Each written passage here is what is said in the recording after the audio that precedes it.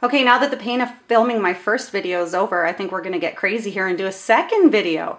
So on these two cards, you'll notice that I have kind of this ratty bird's nest of thread in the background behind the happy birthday and over here behind the hello. This one has some gold curly pieces. Can we get a little bit closer? a little bit of the gold curly and then some gold straight and then some Bermuda Bay. So I wanna show you a really quick technique to do both of these cards that is fun and easy. So to get the curly one, you wanna use your gold baker's twine and cut yourself a small length or a long length, depending on what you need for your project. The gold is just woven right in with the baker's twine. So if you just give it a little twist, it'll start to separate that piece for you and you can just pull that right out.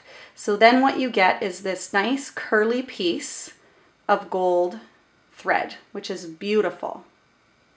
Okay, so now if you want to have a straight piece of gold, you just need to use the taffeta ribbon. It's new and exciting for us. It's in gold and silver now. So I chose the gold because everything lately I want to do is gold.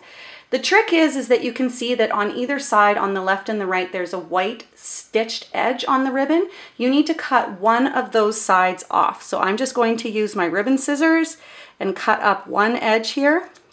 Careful when you pass by your fingers. We don't want any injuries here or blood on our work surface. I am just about there.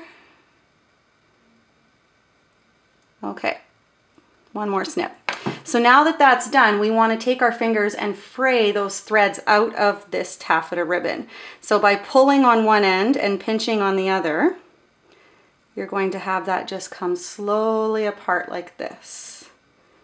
Okay, so there. Now you have all of these beautiful gold pieces of thread to put into the background of your project. So again, you can do that with the Bermuda Bay um, and you have some straight pieces. So on this hello card is where I combined them both. You can see the straight pieces coming out here and then this is the curly one from that uh, baker's twine. And then down here is the Bermuda Bay. This feather is not Stampin' Up, but I just thought it was a really cute uh, accessory to add and feathers are all the rage right now. So one more look at the happy birthday card. There you go. And there is that gold wrapped around that happy birthday on the top of that.